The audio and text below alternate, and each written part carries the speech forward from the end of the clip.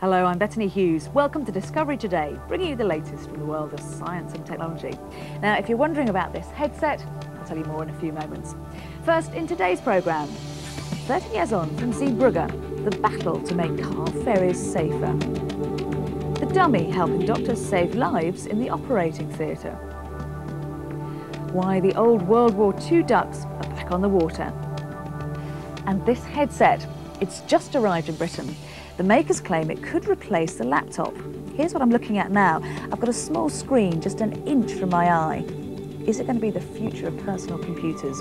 More of the headset later. March the 6th is the 13th anniversary of the sinking of the car ferry, the herald of free enterprise. It happened close to Zeebrugge, just off the coast of Belgium. The ship went over in a matter of seconds. For the survivors, the families of the victims and the ferry companies themselves, the controversy over ferry safety has raged ever since. But a British scientist claims it's very simple to adapt the ferries to make them much safer. In 1987, the British ferry, Herald of Free Enterprise, capsized when water flooded into the main bulkhead area. In 90 seconds, she was on her side. A sandbank prevented the ship from turning fully upside down.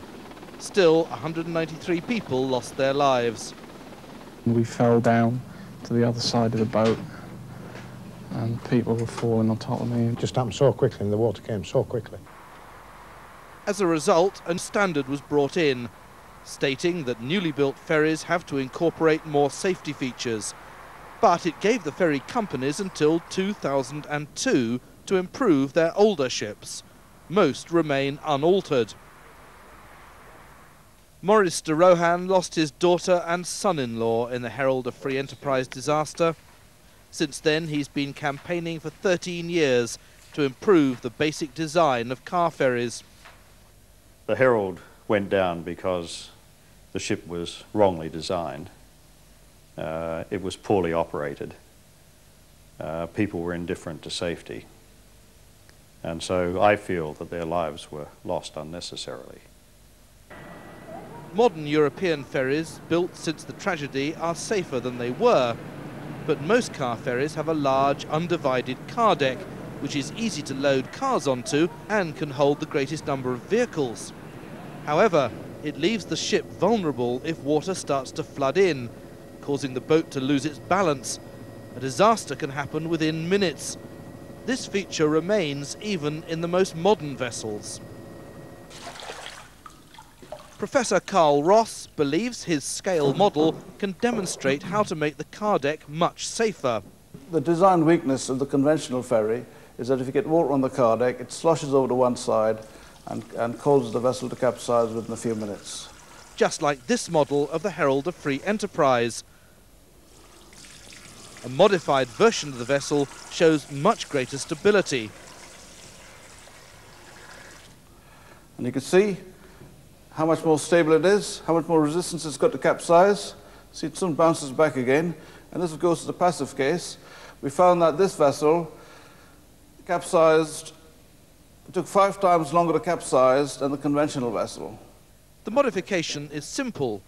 Longitudinal bulkheads underneath a perforated car deck, prevent incoming water sloshing from side to side. Professor Ross says his design would cost just £2 million to fit to older existing ferries currently in use. But the industry remains sceptical one of the downsides of the scheme that it might restrict access and freedom of movement on the car deck. Of course, that is one thing that we wish to avoid. Therefore, the measures which we have and are and will be implementing will seek to minimise the operational constraints on the vessel while, I must stress this, maintaining the very high levels of standards to which we have always operated.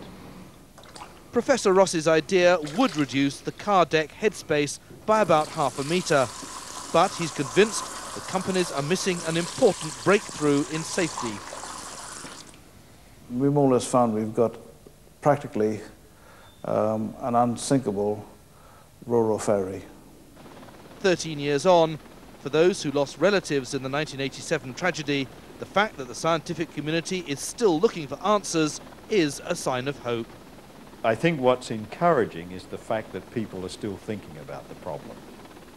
And that they're looking to find ways to improve these ships, which are fundamentally wrong. I mean, they are floating rafts, as somebody described them. They're, uh, and there needs to be uh, an improvement in standards.